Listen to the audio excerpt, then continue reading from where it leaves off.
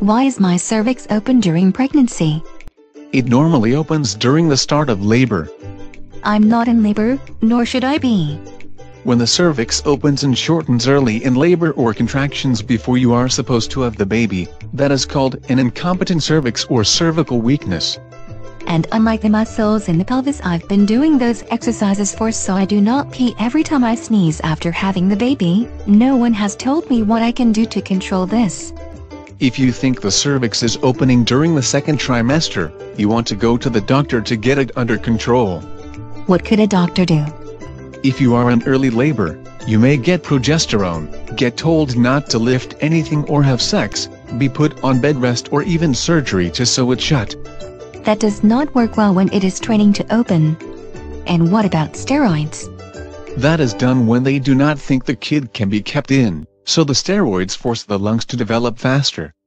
So much for using steroids to strengthen that critical muscle. There are conditions like diabetes and high blood pressure that raise the risk of early cervix dilation. Depending on your situation, it may be as simple as getting prenatal diabetes under control. I do not have diabetes, and I do not have that high blood pressure preeclampsia condition that can trigger early labor.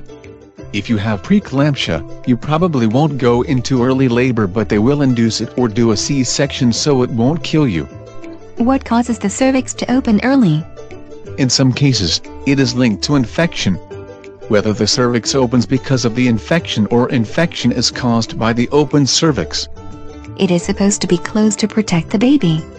The baby is at some risk if the cervix is open, but the baby is at high risk if your water has broken. I do not think that's happened. Why does this happen? In some women, the cervix is just shorter than average and or weaker than it should be. That's the typical cause if you've had prior second trimester miscarriages. I have not. The risk of an open cervix goes up if you get pregnant before the first kid is walking. Yet I hear about all these women sending in urine samples for test in stage 1 baby food jars. If you think the cervix is opening, talk to your doctor, and if you're in preterm labor, get to a hospital to improve everyone's odds.